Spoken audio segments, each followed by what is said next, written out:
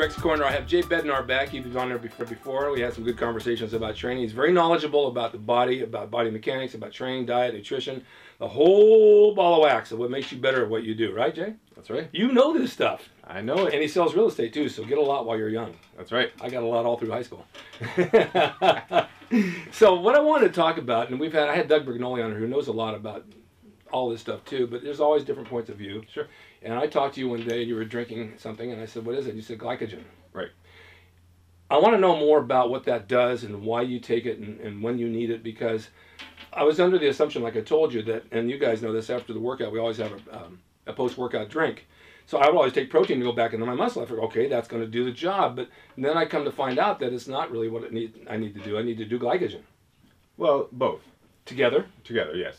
Won't one, that one won't take away from the other? No, not at all. Actually, quite the opposite. It's a, it creates a the the, the glucose. Um, when, when you eat it, it, it really creates a, a transporting effect. Okay. Because the body, the the muscles, especially post exercise, when they're glycogen depleted, are really going to suck up that glucose to increase their glycogen stores again. Okay. So you intake the glucose because your body's looking for that, but you kind of sneak the amino acids in with it. So if you take an amino, and, and what I really like to do is actually do like a, a essential amino or a branch chain amino acid drink with the glucose, as opposed to like a full whey protein, Okay. to really transport those those amino acids into the muscle quickly. Okay. Um, because the, it'll kind of just piggyback along with the glucose into the muscle, so it really get those nutrients in there quick.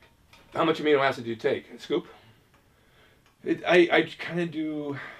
Well, for me, I do. I like to do 15 grams of BCAAs pre and 15 grams of BCAAs post, Okay. and I'll usually throw a scoop of protein in there as well, just as kind of an extra I'm with you. overlap, you know. It's like an extra burger patty. exactly, exactly. So Do you do you take a pre-workout drink? Yeah, And what's in that? uh, any kind of any kind of nitric oxide, so Okay. arginine base, or and then some kind of caffeine. Okay. Arginine, I have plain arginine, I've tried it Yeah. the past two weeks. You get a terrific pump with it. Absolutely. I also heard you get the same thing out of beet juice.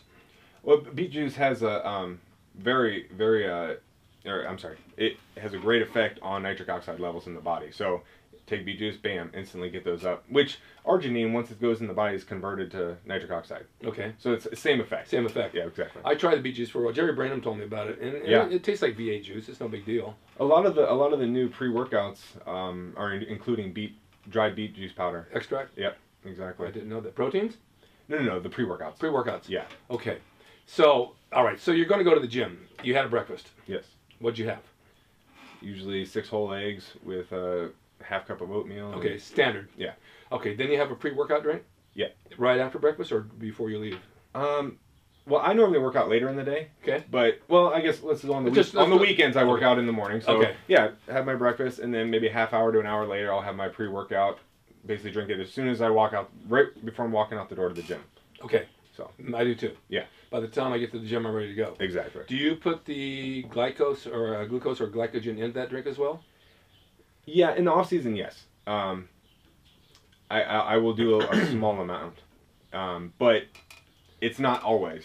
I, I don't know how to explain. That's it. not really where the point that you need it. No. Okay. Uh-uh. No, because you're I you know from the oatmeal that I've had in the morning, I'm already gonna have my Right. glycogen stores pretty well. Okay. Because you know I just got done sleeping and everything, so I'm not. Right. It's not like I was expending a lot of energy. So Right.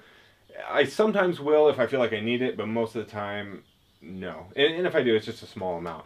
Uh, I'd say probably 25% of what I would do post workout. Okay. If I do. All right. So right after your workout is when you want that. Exactly. See, I was told also. This is going to sound funny. and I don't know if you guys ever heard this or not, but I was told that eat gummy bears.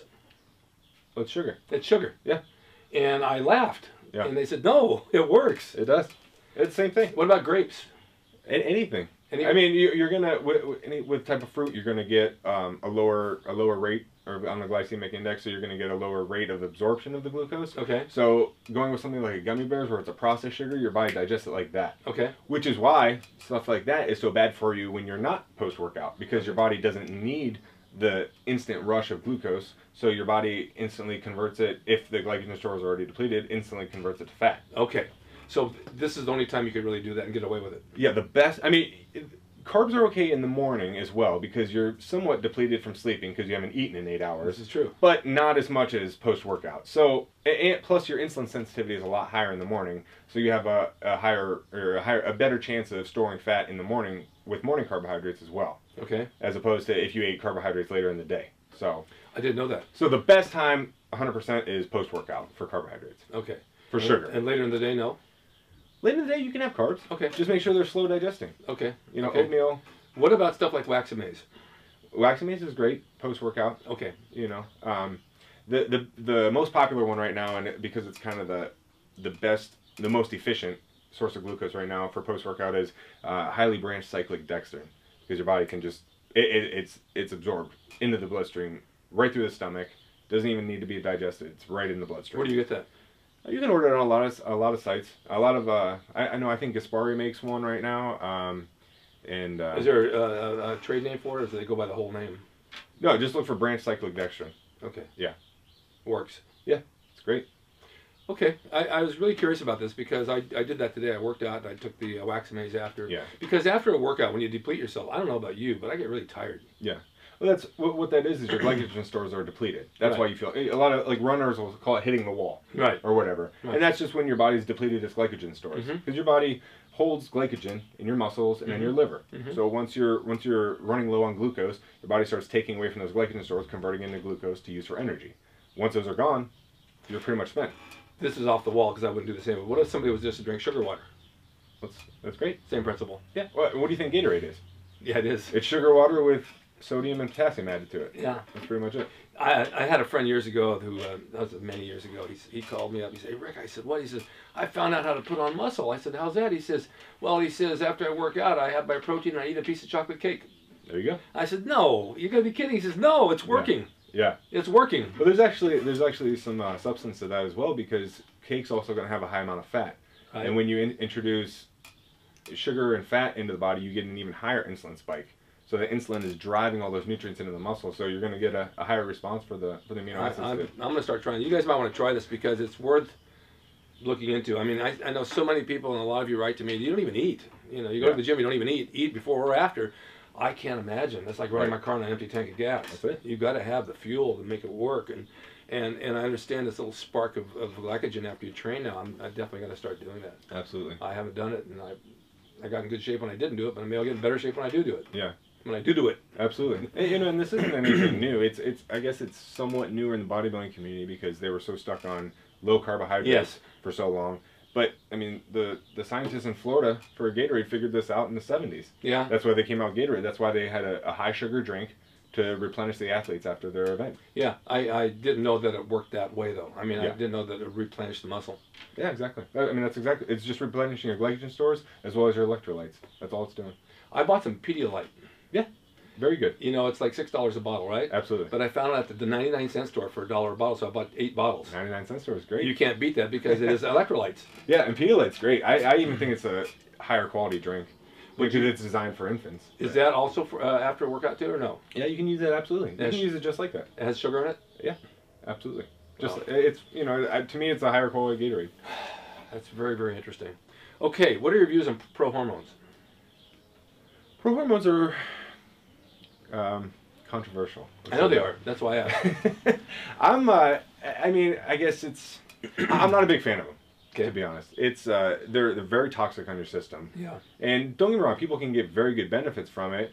Um, but then it, it kind of comes back to the the steroid issue. Yeah. And to me, it's it may even be safer to do steroids in low amounts than it would to be doing pro hormones because your body has to process it through your kidneys and liver Right. multiple times, as Right. opposed to with the with the the anabolic steroids going directly to your to your system. Right. So, uh, I'm not a big fan of pro hormones. Um, I remember when I was in college, I did take them. You know, everyone we, we started it? trying Did things. you notice much from it?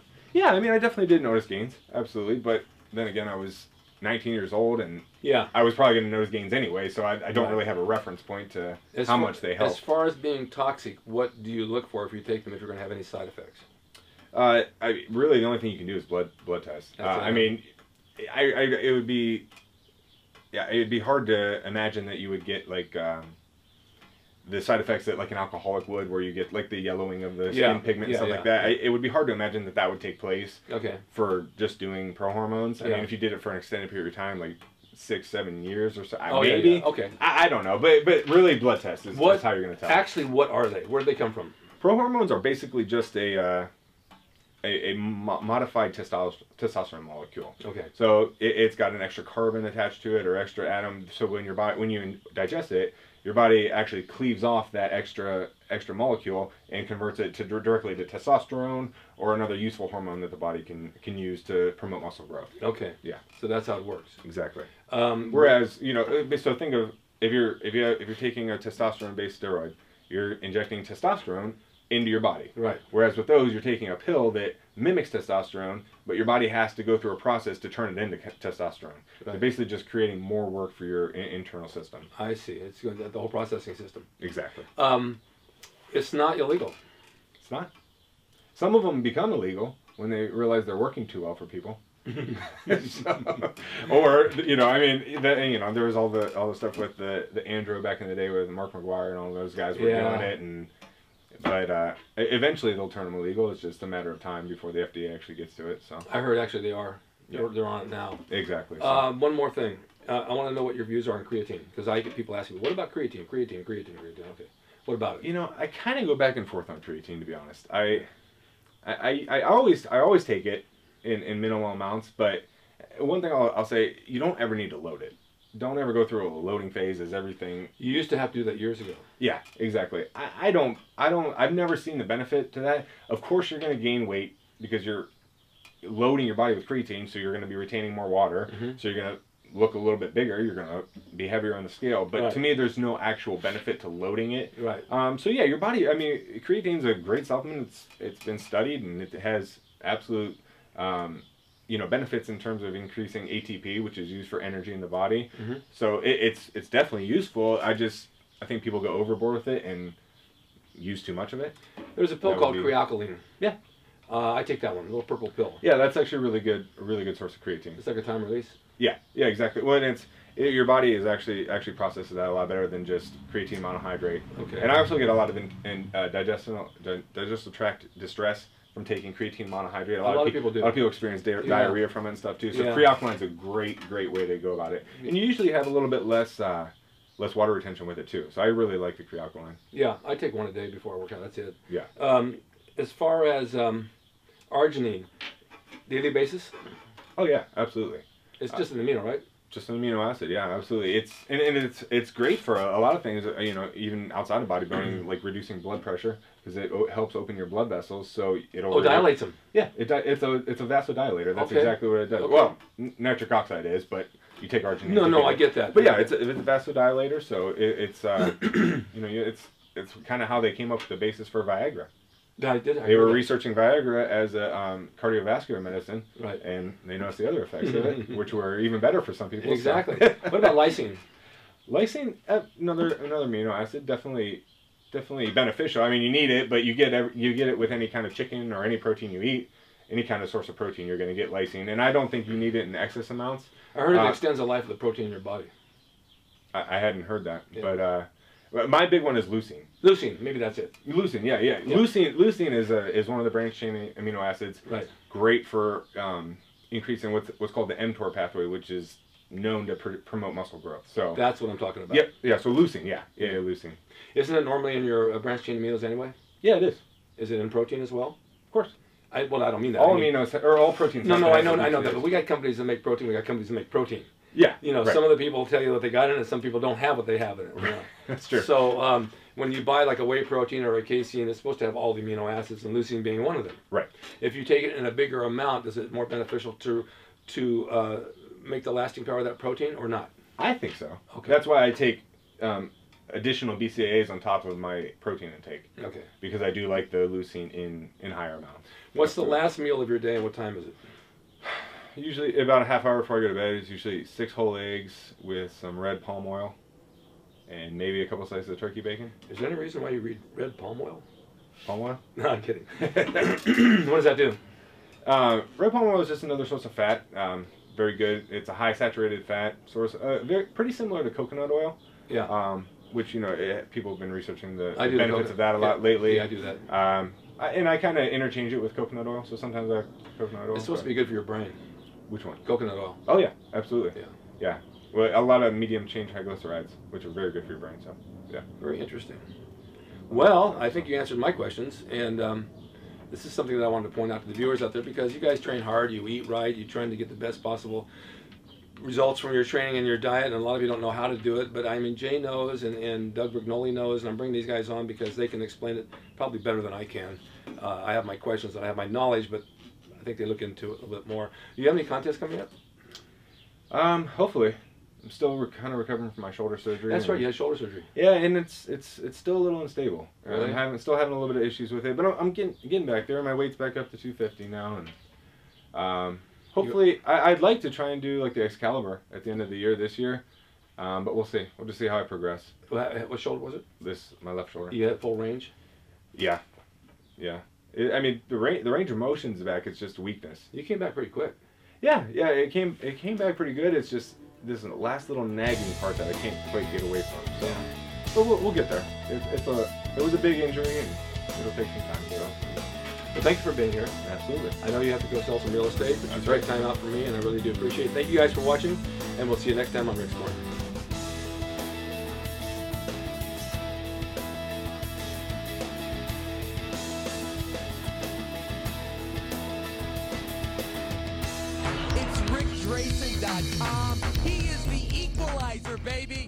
Next time.